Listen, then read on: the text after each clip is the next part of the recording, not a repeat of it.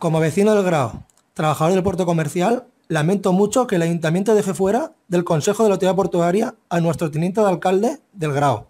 que es el que mejor conoce y puede defender los intereses de los vecinos y empresas de nuestro Grao.